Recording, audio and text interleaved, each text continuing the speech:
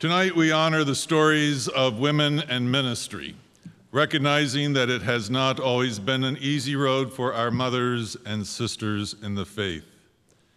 We celebrate their legacy as the hymn proclaims, striving undaunted through the years, till bolted doors have opened wide, faith of our mothers, firm and strong, voices long silenced rise in song. Tonight, we're privileged to hear from one of the trailblazing women who has been responsible for pushing open the doors for women's leadership in the church. Katie Geneva Cannon is the Annie Scales Rogers Professor of Christian Ethics at Union Presbyterian Seminary in Richmond, Virginia. Previously, Dr. Cannon served on the faculty at Temple University, the Episcopal Divinity School in Cambridge, Massachusetts, and the New York Theological Seminary. Dr. Cannon is the first African American woman ordained in the United Presbyterian Church.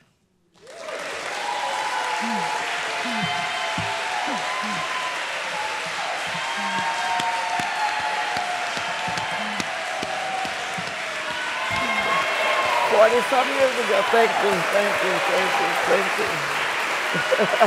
you. Thank you.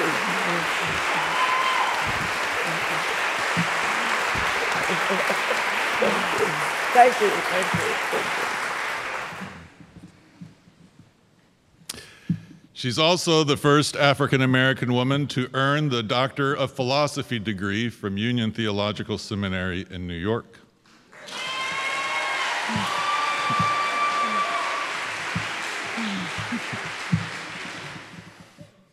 Her scholarship focuses on the areas of Christian ethics, womanist theology, and women and religion in society. Dr. Cannon is the author or editor of six books, including Katie's Canon, Womanism and the Soul of the Black Community, Black Womanist Ethics, and the recently published anthology, The Womanist Theological Reader. She is past president of the Society for the Study of Black Religion and is the recipient of numerous honors and prizes, including the 2011 American Academy of Religion Excellence in Teaching Award, the John Jasper Trailblazer Award from 6th Mount Zion Baptist Church in Richmond, Virginia, and the Union Medal, the highest award of distinction presented by Union Theological Seminary in New York City. We're deeply honored to have her with us tonight. Her lecture is entitled Thinking with Our Hearts, Feeling with Our Brains Testimonies of Faith That History Might Otherwise Forget. Please join me in welcoming the Reverend Dr. Katie Geneva Thank you.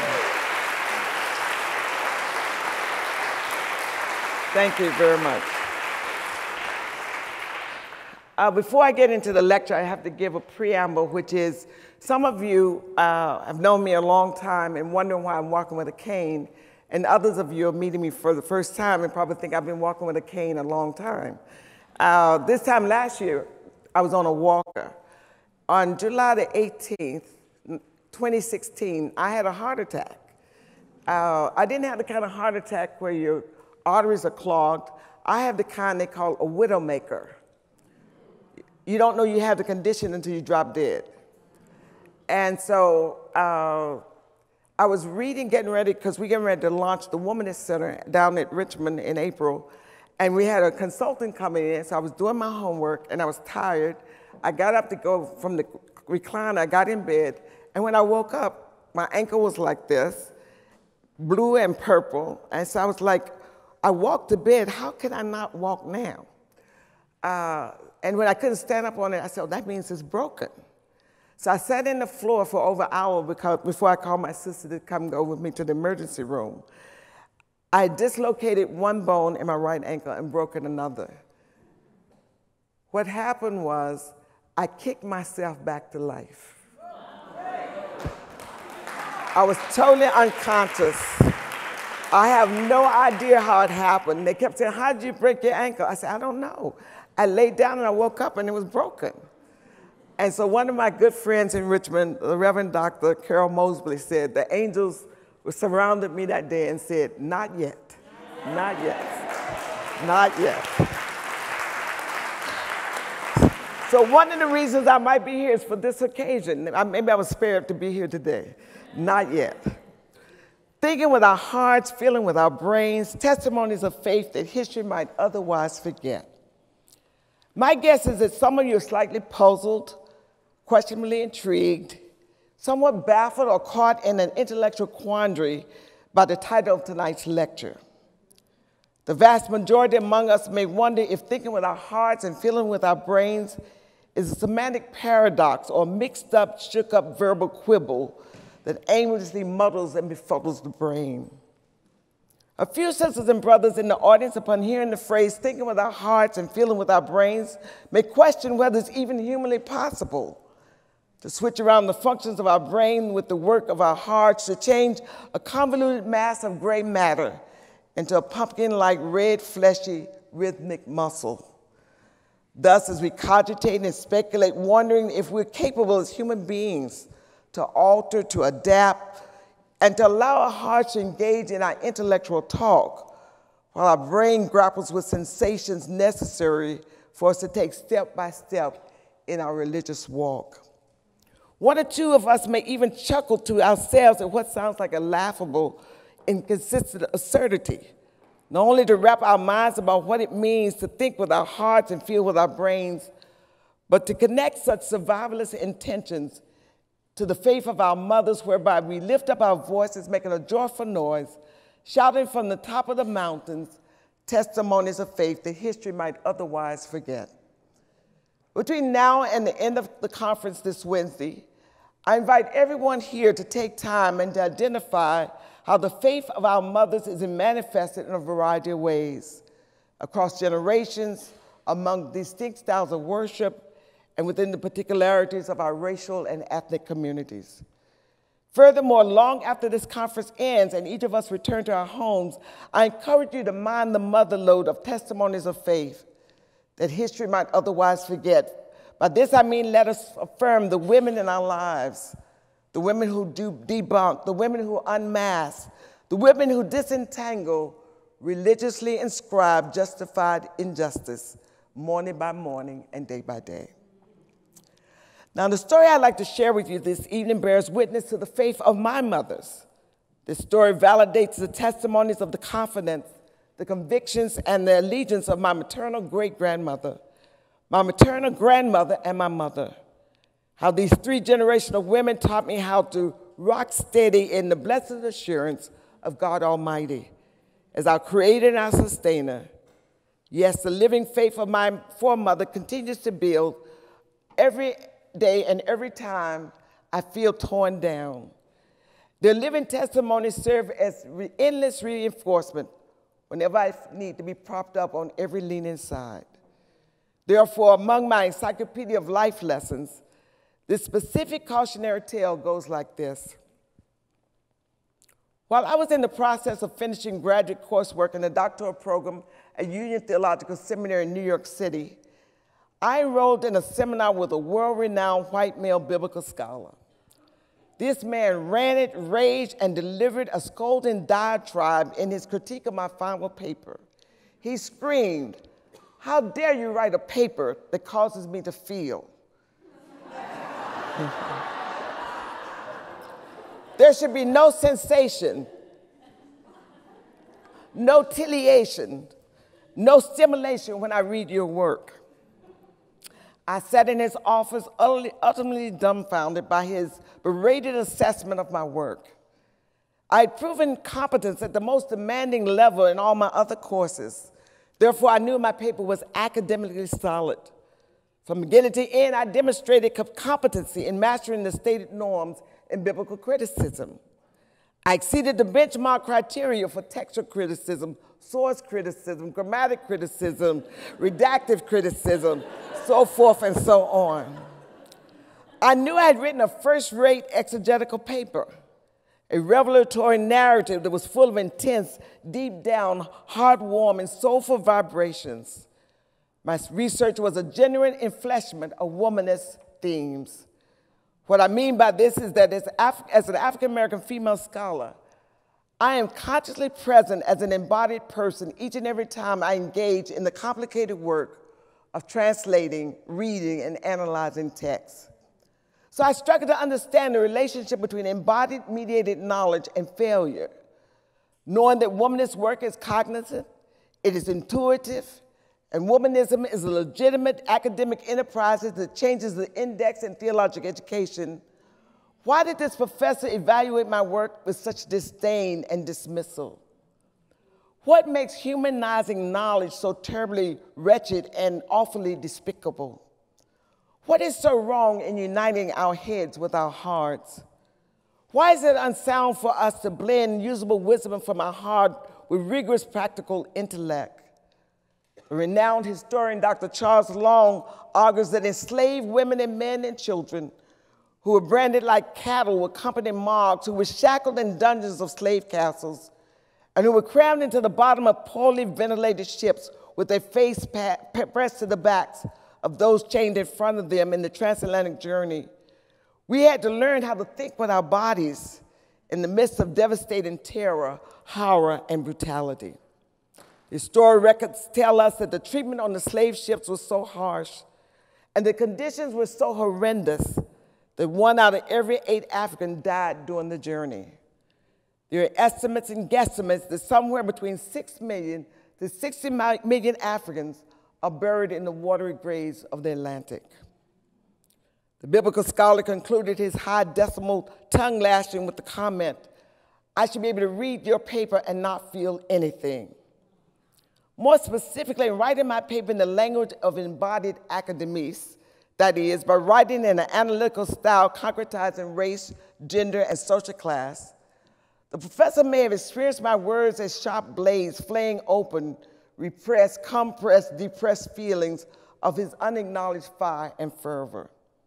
In turn, this notable scholar, con scholar concluded his tirade of condemnation by saying, My exposition was an abomination because my paper provoked, encouraged, aroused too much combustible feelings. My paper was so bad, he said he couldn't even flunk it. now, you know that's very bad. In accordance with this Reverend Doctor's professional persona, he said he did not want to waste any more of his time, not even to write the letter F on my paper. Fortunately for me, during times like these, I call on the lessons of faith I inherited from my foremothers. Now, this first set of faith lessons moving through space and time that enabled me to deal with this situation, equipping, equipping me with both will and skill to push against isolation, alienation, and extermination is the faith, are the faith testimonies I inherited from my great grandmother. My great grandmother, Mary Nance Lytle, was born in 1832 and died on July 8, 1930, in Mecklenburg County in North Carolina. My great grandmother's parents and grandparents were among the millions of Africans enslaved in the Americas. People of African ancestry enslaved in North America were reduced to the status of livestock and pieces of chattel property. By all accounts, my enslaved kinfolk were classified as non-persons. They were assigned to the last place in the great chain of human beings, supposedly locked permanently in subhuman status. Even the United States Constitution counted a black person as three-fifths of a white man. My great-grandmother Mary Nance Lytle and all the family members who preceded her, they knew their worldview and their understanding of God had to be different from the Europeans from maritime Christian countries who were running slave ships. My great grandmother knew that the enslaved and the enslaver cannot serve the same God. Generations after generations, my family continued to believe God is great, God is good. Even when enslaved Africans were told we were not members of the human race, even when preachers preached that we were not fashioned in the image of God, and even when evangelists taught catechism lessons that placed people of African ancestry on the outside of salvation history. There are testimonies throughout the slave narratives bearing witness to enslaved people's clear-eyed vision and knowing the difference between right and wrong, the difference between good and evil. By holding on to God's unchanging hand, my ancestors knew God does not make inferior people. Instead, black people looked at wickedness through the lens of the epistemological privilege of the oppressed. And they created spiritual songs and lamentation. They created melodious sounds of resistance and joyful hymns of praise. Of the 15 plus children my great grandmother brought into this world, all of them except my grandfather were classified as slaves. My grandfather, Emmanuel Clayton Lytle, born August 21st, 1865, was the first and only freeborn child in his ancestral line. My grandfather's parents, all of his siblings, and all my grandfather's ancestors that we know in my family by name lived as enslaved people here in the United States of America. The only reason my grandfather was born free is due to the fact the Civil War ended on April 9, 1865, when Robert E. Lee surrendered the last Confederate army to Ulysses S. Grant. And four months later, on the 21st of August, 1865, my grandfather was born. In the aftermath of the Civil War, my great grandmother Mary, a God fearing woman, walked from plantation to plantation till she found her children. She searched high and low for her daughters and her sons taken from her and sold as chattel property. As Toni Morrison says when talking about the enslaved people, Morrison says slaveholders were stealing and selling African American children at such a young age that oftentimes mothers had not formed a lot of memories. Imagine the trauma of giving birth to children not being able to recognize their children's hands. They have no idea what their permanent teeth look like no knowledge of how their jawbones changed over the years. Fundamentally, Toni Morrison tells us that enslaved Africans transcended their victimization by embracing amazing grace. God's amazing grace supported blacks against the nastiness of life.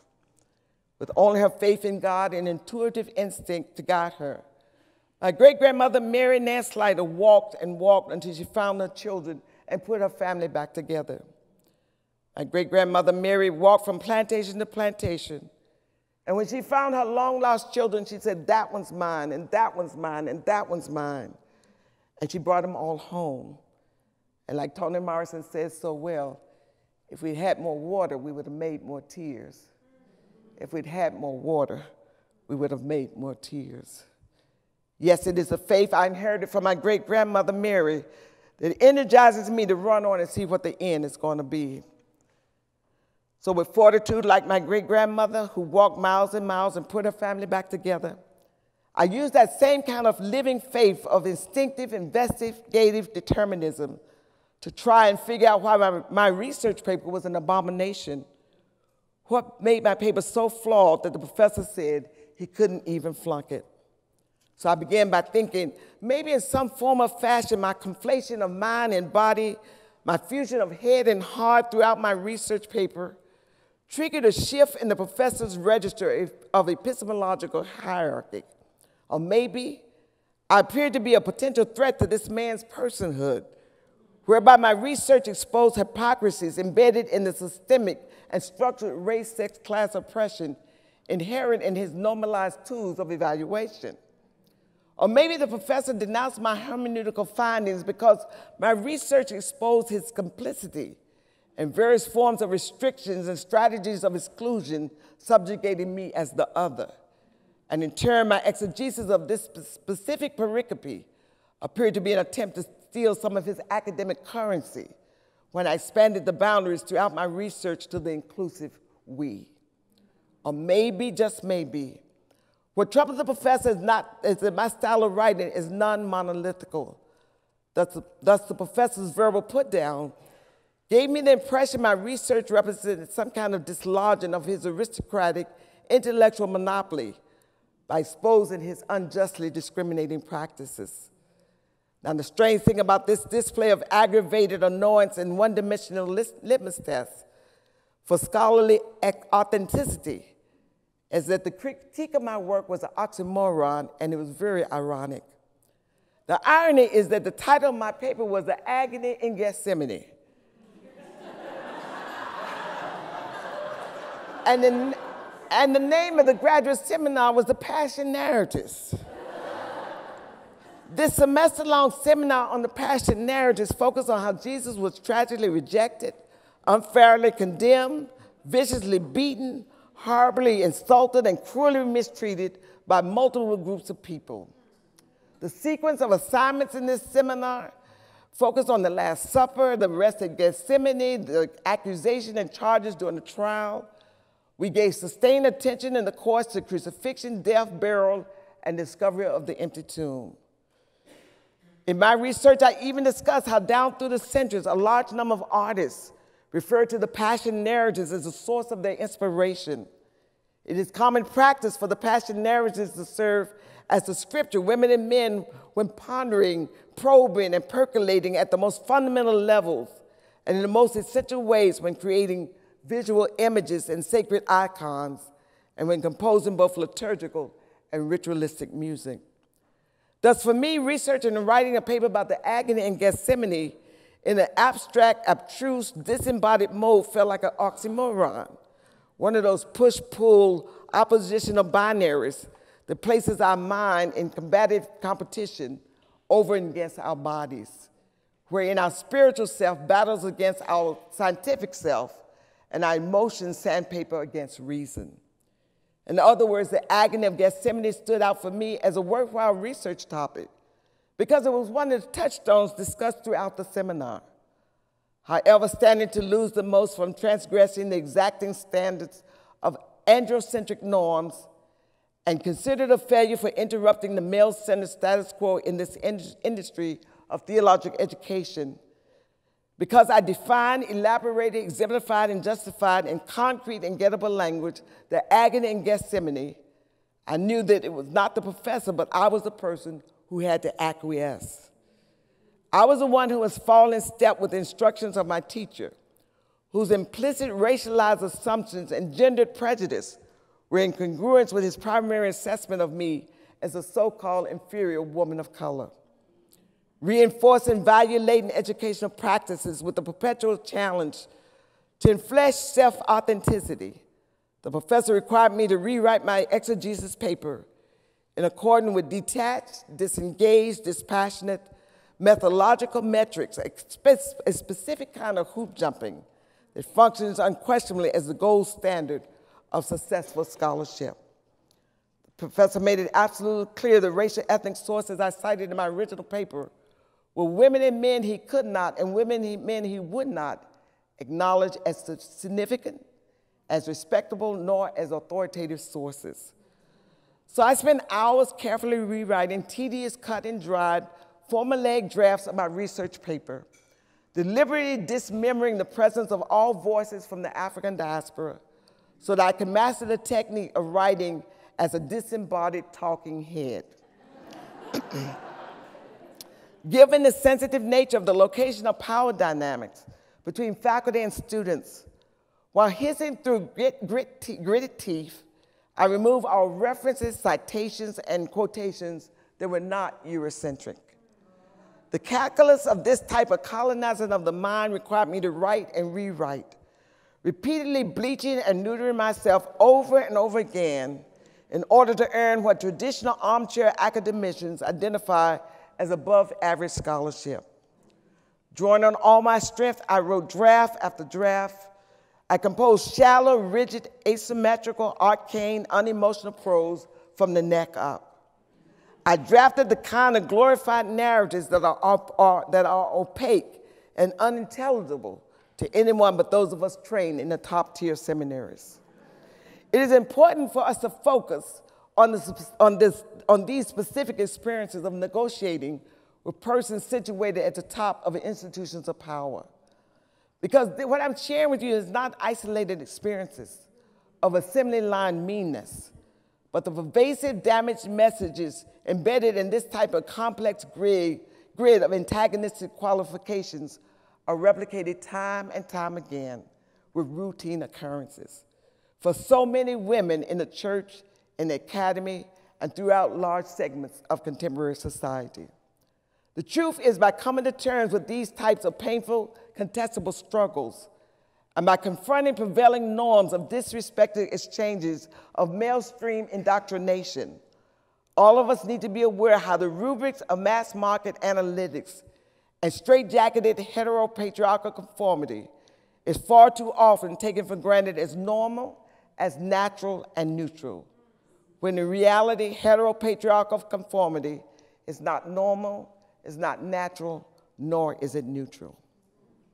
Dearly beloved sisters and brothers, this brings me to my second set of faith testimonies.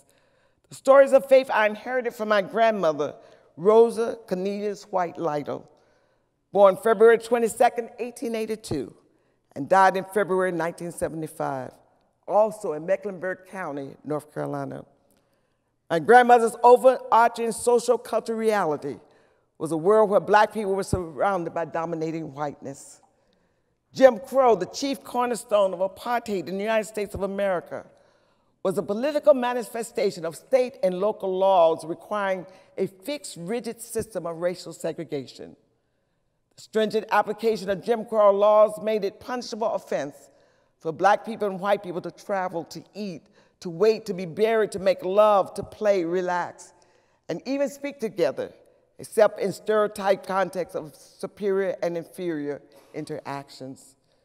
Between 1890 until 1965, legal authorities and public acceptability forced racial separation as a mechanism to dilute systematically the civil liberties of African Americans.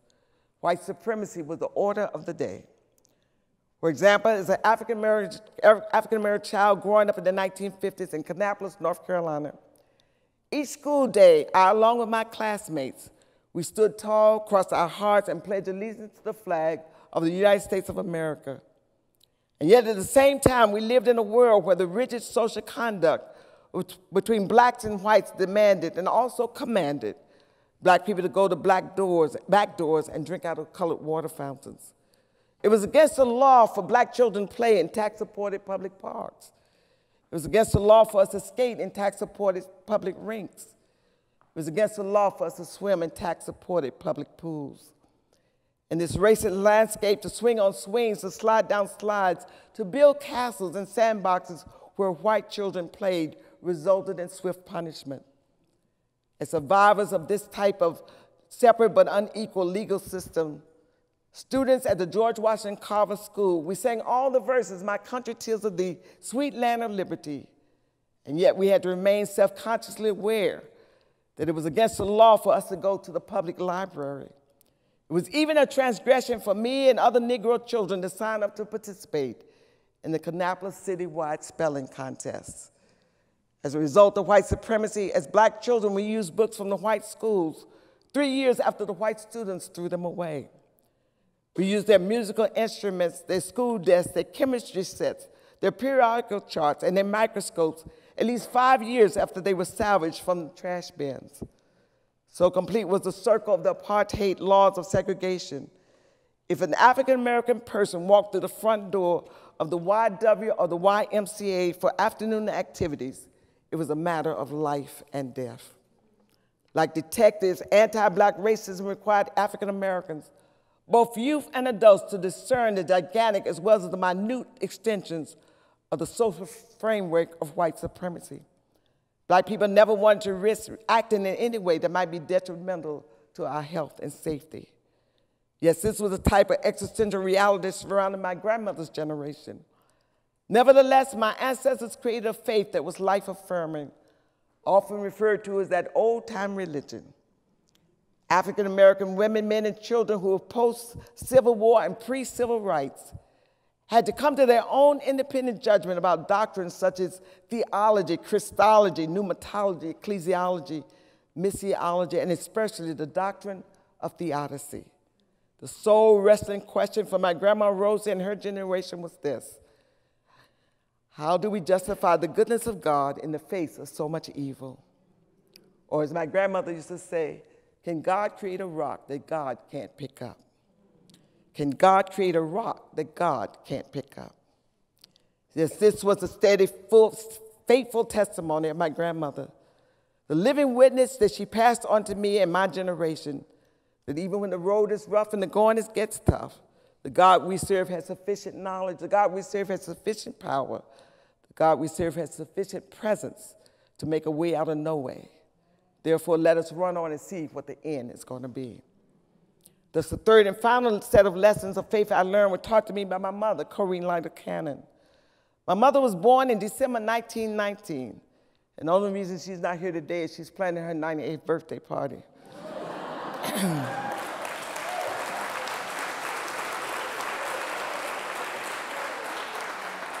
she already has 300 people. We're trying to get it down. To. She ended this world, my mother ended this world in a year when white mob violence, bloody race riots, and hate strikes broke out in northern and southern cities across this country. That was 1919. It is important for us to note that at least 5,000 African Americans have been lynched in the US of A. During a 50 year stretch of my mother's lifetime, a black person was lynched approximately every two and a half days. As a matter of fact, as Tuskegee Institute reported, that 1952, 1952 was the first year in 71 years of tabulation that no black person was lynched in America. Against this historical backdrop, my mother often shares her testimonies of faith in the forms of parables. She says parables are earthly stories with heavenly meanings. So when I told my mother what I was going through with this particular professor, she said, You know, they're hiring at the mill. I said, No, I think I can handle it. so my mother said, um, talking in parables, she said, there are many slips between the cup and the lip. Whatever you do, you always have to think of the latter end. Some of you know every shut eye ain't sleep and every goodbye ain't gone. And most importantly, in relation to this specific situation, my mother said when you have your head in the lion's mouth, you have to treat the lion very gently.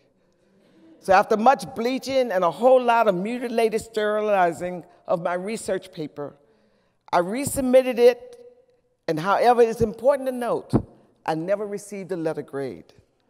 But instead, the professor used a rubber stamp and okayed my paper by stamping the word pass. In essence, what I'm saying here this evening is that we must pay attention. Each and every time we run into power brokers like this person who is trashing my paper, we must pay, pay, we must pay special attention whenever we encounter people who stand in the long shadow of androcentric white supremacy and participate in this kind of life denying mechanisms. Folk who peddle this type of dogmatism, who insist that you and I must not only imitate, but we also must emulate poisonous forms of manufactured cultural hegemony. Their playbook it's value laden.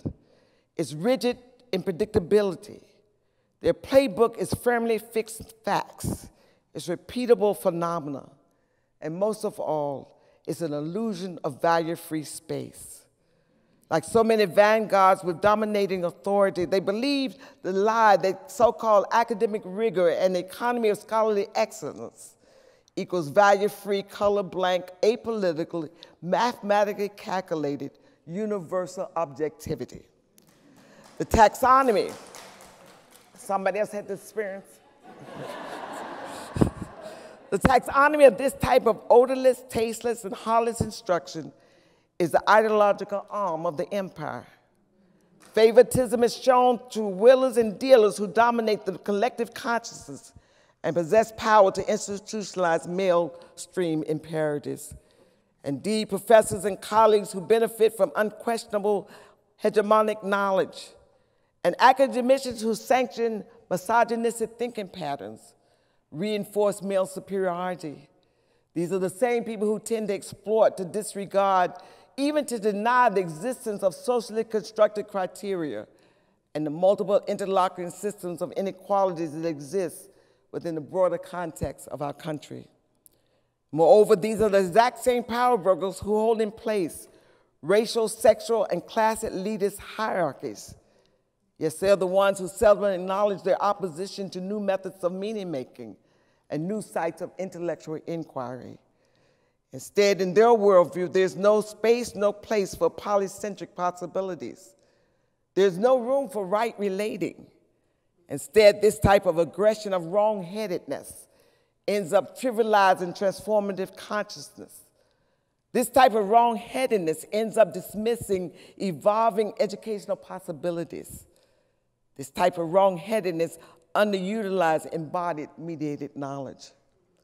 Furthermore, these behind the scene operators who worship both whiteness and maleness. They're the ones who dictate the stories that will be included in the master narratives. And they are the ones who will determine what data will be omitted from dominant religious discourse.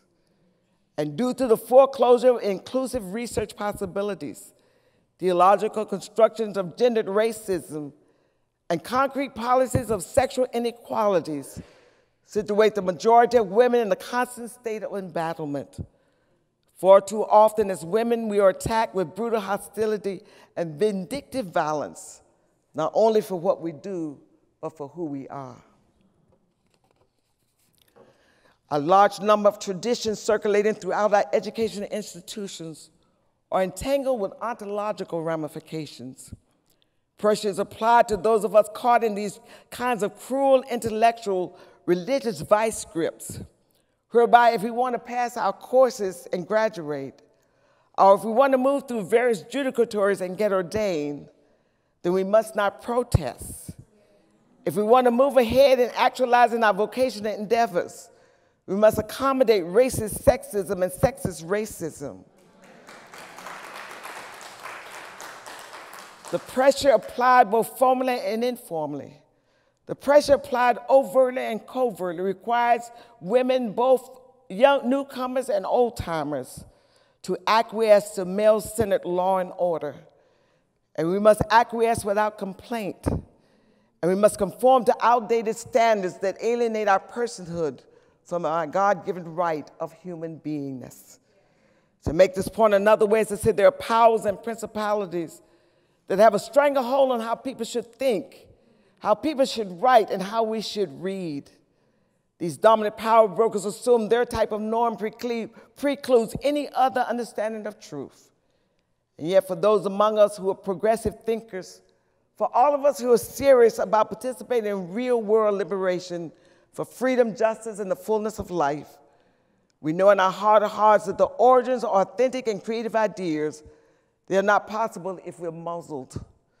They're not possible if we're handcuffed. They're not possible if we're chained and shackled, nor if we're clamped down and locked.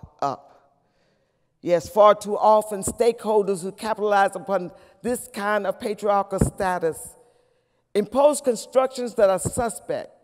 They put in existence standards of truth without proof. Dear beloved, it is the religious beliefs inherited from my foremothers that equipped me with the know how to keep on keeping on. Yet it's due to the living faith of my great grandmother, my grandmother, and my mother living still that enables me to teach others for the past 45 years how to learn by way of embodied mediated knowledge. For 45 years, I've been teaching every student how to think with our hearts and feel with our brains so no one will ever have to experience what I experienced. Therefore, the bottom line fundamental testimonies of faith I offer to you this evening are the life lessons from my foremothers who survived 300 plus years of chattel slavery. Women who lived through 300 plus years of legalized segregation, moving from segregation to desegregation to resegregation. Women who persevered decade after decade, standing against lynching and mass incarceration. And my foremothers have this to say to you about a testimony of faith that history might otherwise forget. And this is it. Each of us, each of us must remember the cautionary message. Even when they lie, they lie. Even when they lie, they lie. That's a whole lot, ain't it? Messes with the brain. So I want to close the night with the prayer that my grandmother had us to say every night. She created it. She said, When wasting age and shock and strife shall have sapped these walls of life, then take this dust that's earthly worn and mold it into heavenly form. When waste and age and shock and strife shall have sapped these walls of life, then, take this dust that's earthly worn and mold it into heavenly form. Thank you.